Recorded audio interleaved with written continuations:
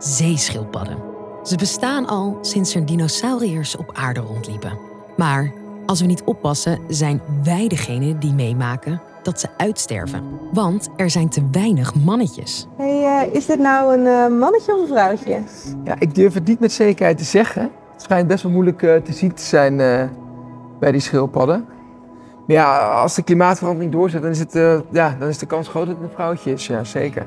Waarom zwemmen er steeds meer vrouwelijke schildpadden rond? En wat heeft klimaatverandering hiermee te maken? Deze vraag komt dit keer niet van ons, maar van een bekende dierenvriend. Ik hou superveel van dieren en ik heb dat ook wel een beetje aan mijn moeder te danken. Zij heeft echt dat zaadje voor me geplant omdat we altijd naar de dierentuin gingen. Gabriel Martina, of Wildebras, ken je misschien wel van? Vakka-roofdieren, jullie weten, ik heb het dierenrijkolog. Vakka-roofdieren, vakka-roofdieren van vakka-roofdieren. Ja, dat dus.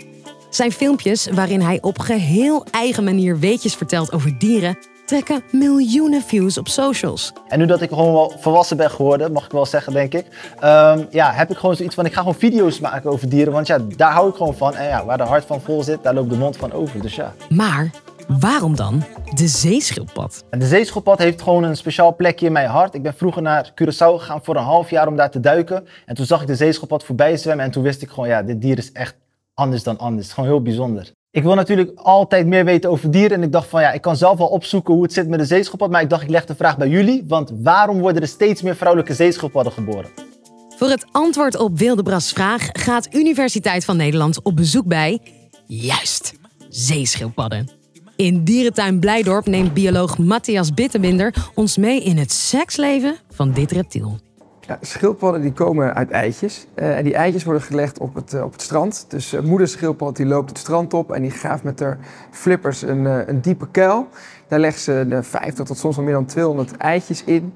En die eitjes die blijven daar een hele tijd zitten. Die dat wordt lekker warm, dat gaat lekker broeden. En op een gegeven moment komen daar babyschildpadjes uit.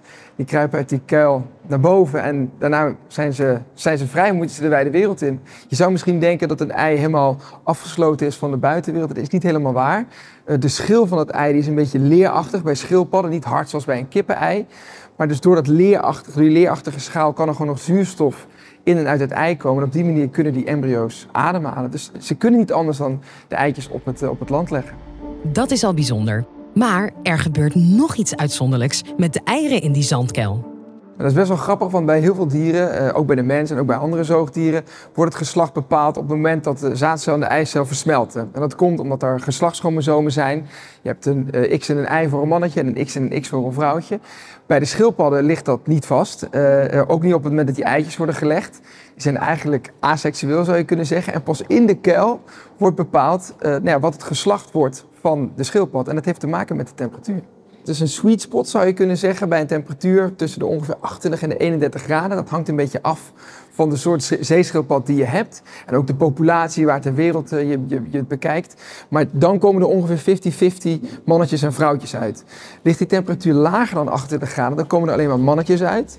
Ligt de temperatuur hoger dan 31 graden, dan komen er alleen maar vrouwtjes uit. Oké, zo gaat het in het wild. Maar hoe gaat het met de zeeschildpadden in de dierentuin?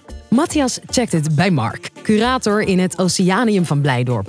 Hij kent de zeeschildpadden daar al 15 jaar. Maar Mark, uh, ik zag hier twee schildpadden. Um, zijn dat verschillende soorten? Ja, we hebben een uh, groene zeeschildpad, Midas.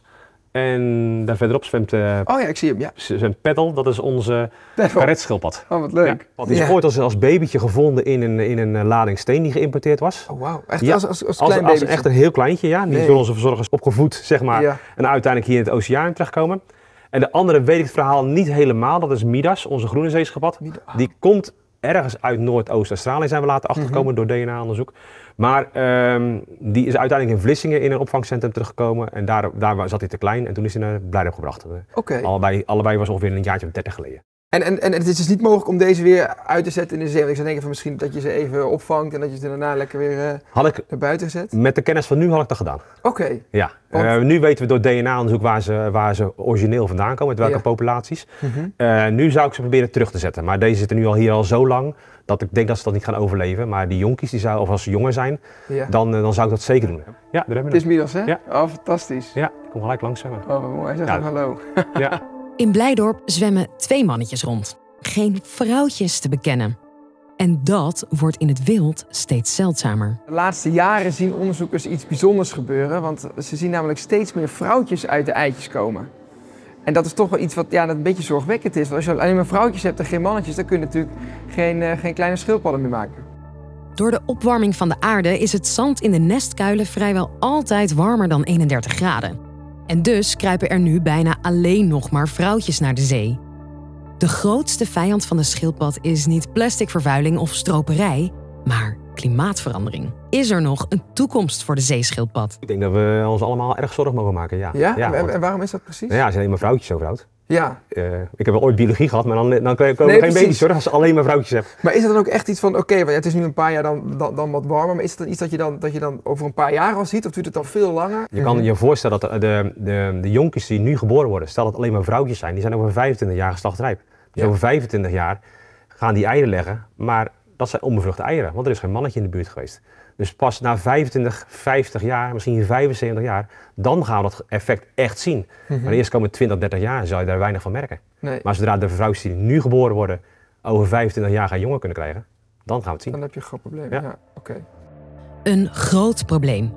Is het dan geen idee om de natuur een handje te helpen? Dat doen we toch wel vaker?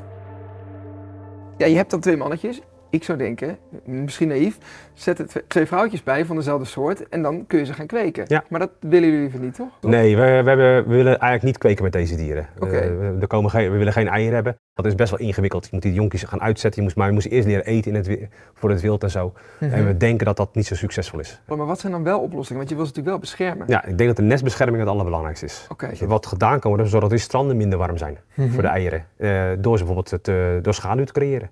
Okay. Dat zijn oplossingen. Dus je kan de eieren bedekken of de, de, de nesten bedekken met, uh, met, uh, met palmbladeren of met in ieder geval zodat het, dat het niet zo warm wordt op het strand. Mm -hmm. En dat is met name om gewoon de zon weg te halen. Ja. Nestbescherming dus. Je hebt alleen wat palmbladeren nodig. Op Sint Eustatius gebeurt het al. We moeten aan de bak, Wilde Bras. We moeten sowieso aan de bak als mensen. Want kijk, ik kan wel zeggen waarom ik de zeeschildpad belangrijk vind, maar dat zouden we allemaal moeten vinden, want ze beschermen uiteindelijk onze oceaan. Letterlijk, ze beschermen gewoon het koraal voor ons. Dus als ik dan, ik heb zelf heel vaak gedoken, als ik dan zo'n zeeschildpad zie, dan weet ik gewoon van, ik ben op bezoek in hun habitat en dan voel je ook gewoon de verantwoording dat je goed voor ze wil zijn. Dus dat zal ook gewoon mijn boodschap naar iedereen zijn van, wees gewoon goed voor dieren en natuur en in dit geval specifiek naar de zeeschildpadden. Bedankt voor het beantwoorden van mijn vraag, Universiteit van Nederland. Jullie zijn echte strijders. Jij ook bedankt, Wilde Bras. En uh, de zeeschildpadden natuurlijk. Tot de volgende!